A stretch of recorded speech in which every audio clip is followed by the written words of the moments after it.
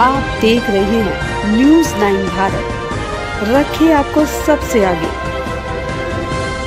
नमस्कार, आप देख रहे हैं न्यूज़ नाइन भारत। मैं हूँ आपके साथ अंजलि। चलिए रुक करते हैं खबरों की ओर। सीतापुर उप जिलाधिकारी के निर्देश पर नायब तहसीलदार व खाद्य विभाग टीम ने ऑयल मिल पर मारा छापा।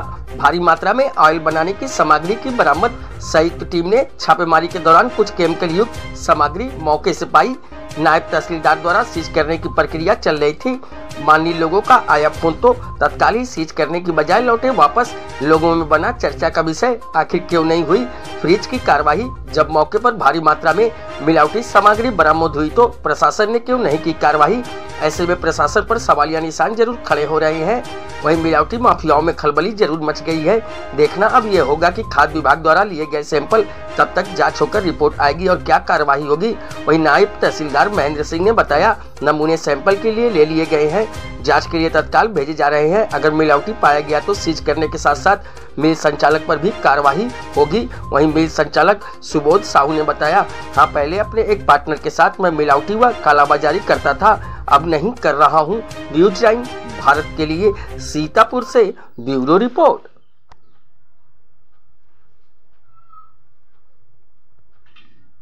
सर, मामला कोई नहीं है। बस ये है कि मतलब बगैर रजिस्ट्रेशन के काम कर रहे हैं छोटा मोटा काम करते हैं दस बीस रुपये का तेल बना के बेच लेते हैं। मिलावटी भी बनाते कुछ ऐसा भी नहीं नहीं सर। कुछ बोतल वोतल मिले कुछ चीज़ भी हुआ। है वो सर पहले करते थे तो छोड़ दिया हमने।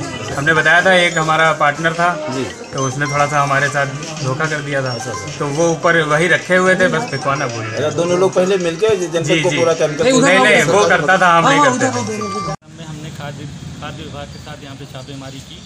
और जो भी चीज़ें पाई गई हैं उनको सीज कर दिया है किस व्यक्ति क्या है जिस पे आपने छापेमारी की क्या नाम है उनका? सुबोध साहू नाम है। जी। स्थानीय निवासी यहीं के हैं आलमनगर प्रारंभिक जाँच में क्या दिखा आपको?